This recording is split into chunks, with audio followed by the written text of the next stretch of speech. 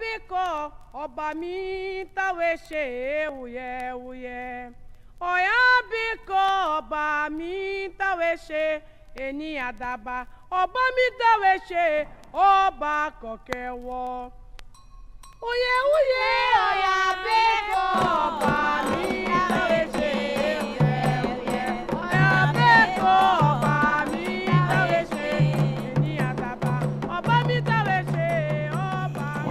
Bênção.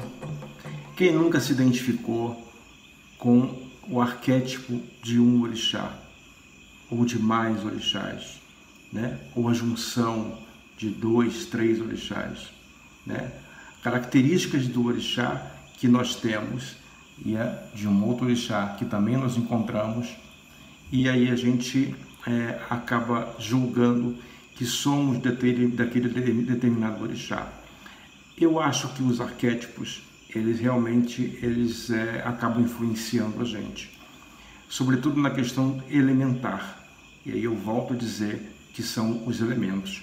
Então, tem pessoas que têm mais elemento ar, tem mais elemento, outras têm mais elemento fogo, outras mais elemento terra. E aí o, o, a, o seu olori, o seu orixá, o seu orixá de cabeça, aquele que a gente vai se iniciar, ou aquele que a gente vai ter como nosso orixá, ele vai é, ser revelado de acordo com, a, com essa predominância desses elementos no nosso ser, na nossa composição, né? Então, é, eu nunca, nunca me conformei muito com aquela, com aquela, com aquela máxima de que ah, o comportamento de uma pessoa está relacionado a determinado orixá, como se eu gosto de cerveja, se eu gosto de beber, gosto de farra, eu sou do Ogum.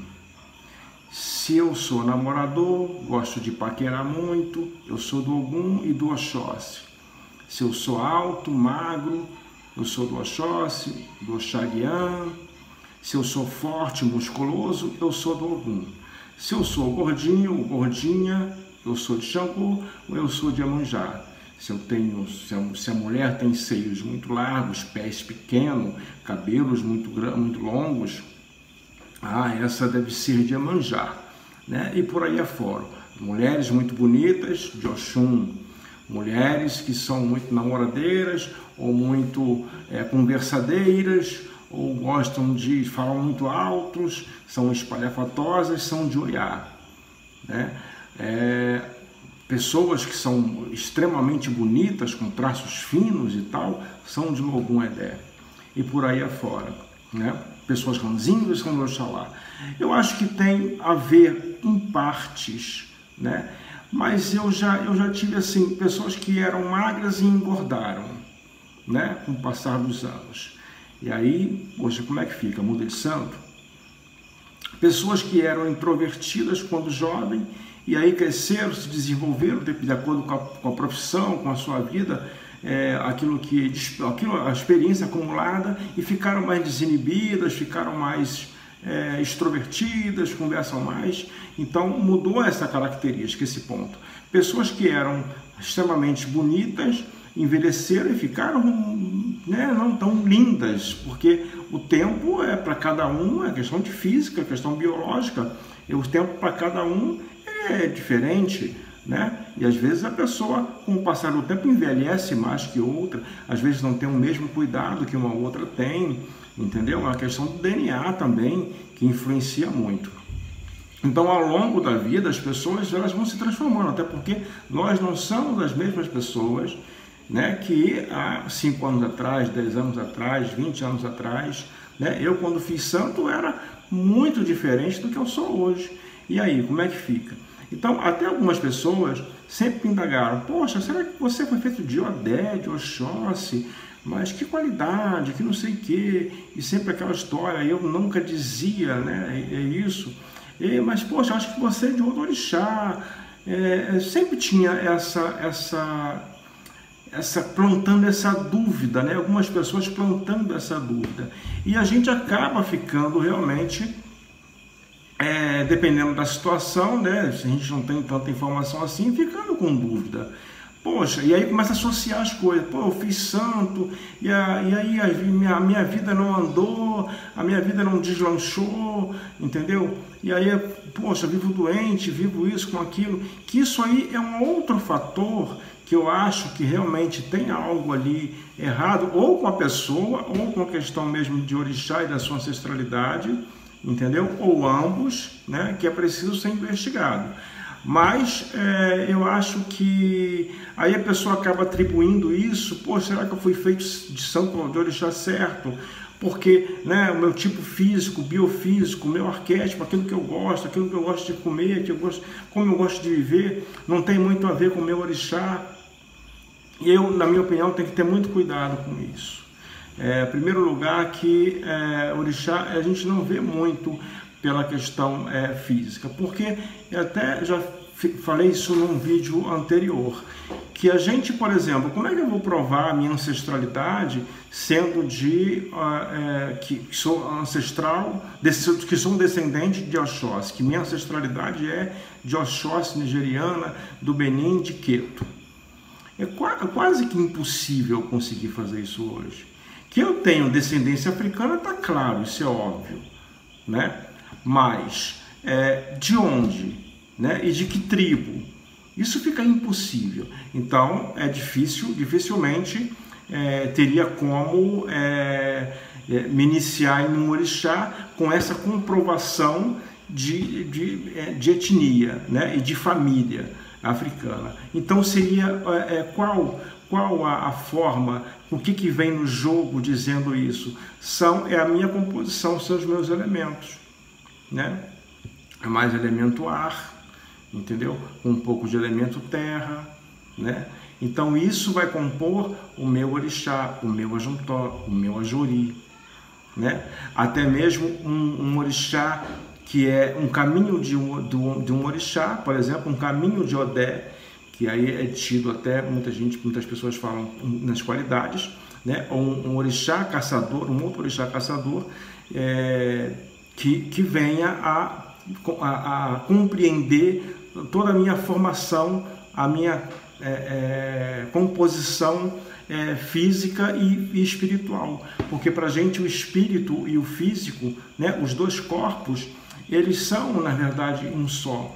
Né? A, nossa, a nossa vida ela não tem, não está separada. Mesmo quando a gente morre, o nosso corpo, esse corpo aqui, esse físico, ele morre e entrega né, para volta para a terra, volta para o reinício, que a gente volta para a realidade, né, por um, por um dos oruns, que aí a gente tem cada um, cada pedaço da gente vai para um, para um, um lugar, né, a gente é dividido e vai para o todo.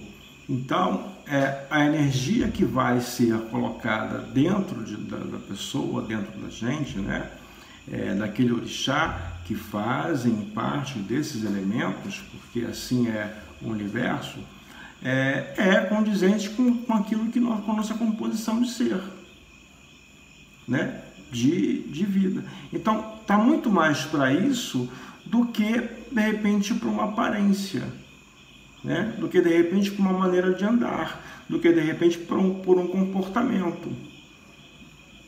Entendeu? Isso é o meu ponto de vista. Isso é o meu ponto de vista. Eu conheci um monte de pessoas do Ogum que nunca beberam e não bebem, odeiam bebida, e são do Ogum. Conheci um monte de pessoas de Odé, entendeu? Que não são tão namoradores como o pessoal fala entendeu? Há, há, um tempo atrás até diziam que um povo de Odé gostava de rolo, gostava de dar é, é, volta nos outros, né? aplicar golpe nos outros, pequenos golpes, dizemos assim, entendeu? Eu não sei que, qual foi essa associação, entendeu? Então, é, eu acho que tem muitas brincadeiras e que acabam se tornando verdades quando a pessoa procura uma casa de santo, uma casa de axé, para jogar um búzio, porque a gente quer saber quem, quem é o nosso orixá, né? Que se a gente fosse fazer santo, ou se a gente for fazer santo, qual é o nosso orixá, e, e, e até como devoção para quem gosta de candomblé, para quem gosta da religião, quer saber. E às vezes é, acaba sendo o, o, de uma maneira equivocada encontrando esse, esse, esse caminho, né, para chegar no orixá da pessoa. Aí a pessoa faz um orixá aqui, chega em outra casa, algumas pessoas acabam, acreditam que, ah, se não foi bem feito, tem que raspar de novo. Mas o que é não ser bem feito? Entendeu? Então é um critério que aí precisa ser analisado, entendeu? Fez todos os procedimentos que precisa fazer dentro da nação? Fez. Faltou alguma coisa ou outra? Por quê? Porque foi feito. O principal foi feito. Ah, não, não passou por, por essas coisas, não passou por nada, foi iniciada em um determinado orixá, só que essa iniciação realmente ela não é válida porque não passou pelo que precisaria ter passado. Aí sim, então não é iniciar de novo, aí é iniciar de fato, né? Porque aconteceu muitas é, é, coisas equivocadas e, e, e, que não, não se compreendem numa iniciação. Aí é iniciar de verdade, de fato, né? Ah, porque tinha, tinha sido feito algo de, em algum orixá anteriormente e aí se chegou à conclusão de que essa pessoa não é daquele orixá, mas não por ser gordinha, magrinha, alto, baixo, né, curvado, feio, bonito, por ter aqueles elementos, por ter aquela energia com ela, né? Que claro que tem ancestralidade, evidentemente que tem a, a, a, é, características daquele orixá, né? É lógico, porque as características dão como se o orixá fosse realmente um humano, entendeu? Então, é, é, é por mais que ele tenha sido, sabe, é, é ter vivido, né? Ter, ter tido uma vida humana, entendeu? Mas ele não é mais um humano. Então, porque são características bem humanas, entendeu? pessoas que são assim, são assadas, agem assim, agem assado, pensam dessa forma, pensam da outra. Há pessoas que são criativas, então elas têm um elemento ar mais predominante na vida dela, entendeu? Então isso às vezes vai chegar no encontro é, juntamente com, com caminhos que, que são é, é, vistos e se chega a um orixá, se revela ao orixá é, da, da pessoa, do filho de santo. Então, é, houve muitos equívocos e ainda acontece em relação a isso. É, a gente sabe disso. Quando a gente fala que orixá depois de feito não existe orixá errado, e realmente não existe, porque o que pode ser feito é complementar, né? porque todos os elementos nós temos. Nós temos todos os elementos com a gente, nós somos formados desses elementos. Né? E aí fez um orixá que não é o elemento que predomina nas nossas vidas, na, na nossa composição, na nossa formação como, como indivíduo, como ser. Aí acrescenta-se um outro, um outro orixá para que faça esse equilíbrio, para que faça essa, essa nossa energia ter né, um, um desenvolvimento, uma sinergia melhor na vida. Porque a gente vai estar cultuando né? Tudo isso, porque quando falam que o orixá é energia, é verdade mesmo, é orixá. E essas características elas estão relacionadas a esses elementos. Né? Então, pessoas que têm uma energia muito maior que a outra, porque às vezes é muito fogo. Né? Outras pessoas que são mais centradas, né? Tem mais, são mais, são mais, é, é, não são tão arrojadas. Outras pessoas que são muito, é, ah, deixa a vida levar, muito água entendeu? Pessoas que são muito aéreas, né? Então, até isso é composto, aí onde compõe um orixá ou outro, para dar mais equilíbrio, entendeu? Até da natureza da pessoa, entendeu? Então, é colocado até outros elementos para que a pessoa a, a, é, mude. Às vezes a pessoa precisa de mais energia, porque é muita água, muita água, a vida não vai, entendeu? É, é, é dela? É, mas é preciso colocar mais, entendeu? Um, um elemento ali, um fogo, entendeu? É, é, quando a gente fala fogo não é para queimar, não é nada, é mais energia, entendeu? Colocar de repente um, mais elemento ar, mais elemento terra, porque a pessoa é muito, muito aérea, muito sonhadora, né? não tem o um pé no chão e às vezes precisa do pé no chão. Então é equilibrar tudo isso, entendeu? Eu acho que é, é um, eu vejo como um bom caminho é, encontrar esse, esse equilíbrio é, dentro de cada um de nós. Por isso que não é né, aquela velha é, expressão que a gente fala, não é receita de bolo, e não é. Não é olhando para uma pessoa pelo físico que a gente vai é, determinar o orixá da pessoa porque as pessoas mudam muito. Olha, quer ver uma outra coisa? É a questão da faixa etária.